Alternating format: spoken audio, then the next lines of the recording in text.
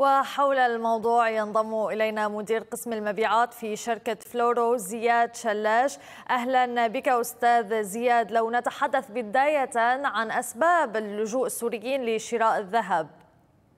أهلا أستاذة كاترينا. أهلا وسهلا فيك شكرا للاستضافه أهلا السبب الرئيسي اللي خلى السوريين إنه يتجهوا باتجاه الاستثمار بالذهب هو الجائحة اللي عم نعاني منها بالعالم كلياته هو التضخم. التضخم عم تضعف قيمة الأموال عموما في العالم وهذا الشيء عم يخليهم إنه يبتعدوا عن فكرة الادخار وبيتجهوا باتجاه الاستثمار. الاستثمار ببلش معنا بعدة عوامل أساسية. مثل فينا نقول إنه مثلا ممكن اللي بفكر إنه يشتري عقار لكن مثل ما بتعرفي إنه العقارات أسعارها غالية والذهب عموما عند السوريين هو كولتور ثقافة عموما. فهن بيتجهوا اتجاه الاستثمار بالذهب بحكم إنه ثقتهم بالذهب. والشيء الثاني المهم اللي نعرفه إنه الذهب هو فيك تقولي عنه إنه هو عملة بكل العالم. يعني موجود له قيمة بكل قارات العالم. لو كنا بطوكيو لو كنا بالخليج لو كنا بأوروبا أو كنا بالأمريكتين فسعر الذهب رح يكون انترناسيونال بغاية سعر عالمي. وهذا طيب. اللي عم يخلي السوريين إنه يتجهوا باتجاه شراء شراء الذهب والاستثمار والادخار بموضوع الذهب. طيب أستاذ زياد نحن نتكلم عن السوريين الموجودين في أوروبا وهناك اختلاف في في عيار الذهب الموجود أصلا في أوروبا وحتى في أسعاره، كيف يمكن هل هن أصلا يقبلون على شراء الذهب الأوروبي أم هناك محال خاصة في السوريين؟ هلا السوريين عندهم محلاتهم الخاصه اللي بيلجأوا إلى من عيار 21 العيار المفضل عند السوريين بشراء الذهب هو عيار 21 لكن المشكلة اللي عم تواجههم عند الاستثمار بموضوع المجوهرات إنه بأوروبا عموما في ضريبة القيمة المضافة هي 19% هي بتيجي مضافة على سعر الصياغة الشموك. يعني المجوهرات اللي فينا نقول عنها إنه هي عم يدفعوا هن صياغة وعم يدفعوا ضريبة بنفس الوقت. لهيك هن عم يتجهوا باتجاه الاستثمار بسبائك الذهب والعملات الذهبية.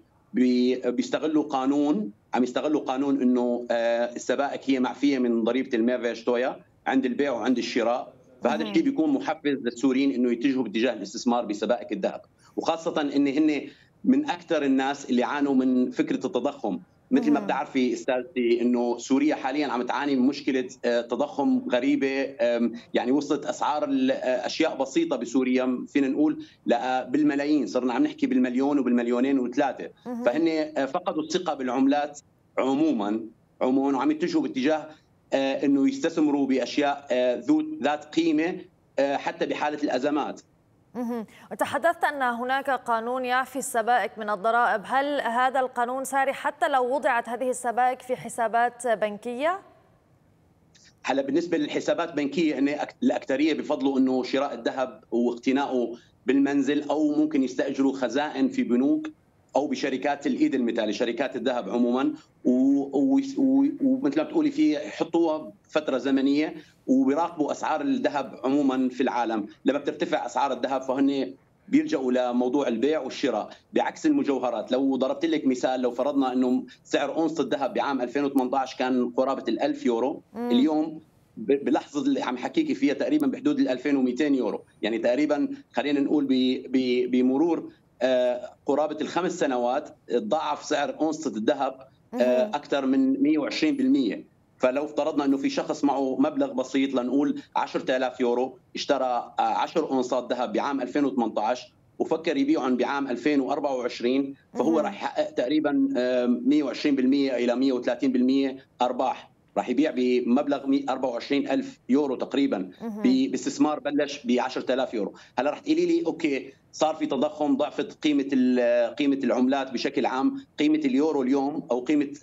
أي عملة عالمية مو مثل قيمتها قبل عام 2024 لأن بسبب إنه في سياسات حكومية عم تلجأ إلى البنوك المركزية العالمية بفكرة طباعة الأموال. هذا الشيء يعني عم يسوي شيء اسمه تضخم بالعالم.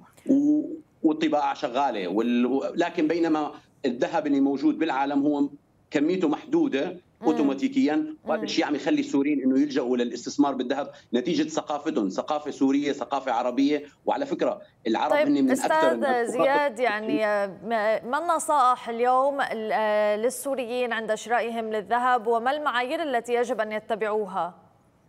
هلا من أهم النصائح إنه للسوريين لحتى يستثمروا بموضوع الذهب هو آه، اللجوء إلى شركات مرموقة ذات سمعة كبيرة بالسوق. يعني كمثال في عندك شركات إلها سمعتها بالسوق. هذا بيضمن لهم إنه هن يأخذوا فواتير نظامية بنفس الوقت تكون حاصلة هي الشركات على شهادة LBMA من بورصة لندن للمعادن. وهي متواجدة بكل المدن الألمانية وبالأوروبية عموما. والشيء الثاني انه هن ما راح يدفعوا صياغة. يعني ما في سعر لا تقولي في سعر مبالغ فيه عن السعر العالمي للذهب. شكرا جزيلا لك مدير قسم المبيعات في شركة فلورو زياد شلاش. كنت معنا من دسلدورف شرفت فيكي تحياتي.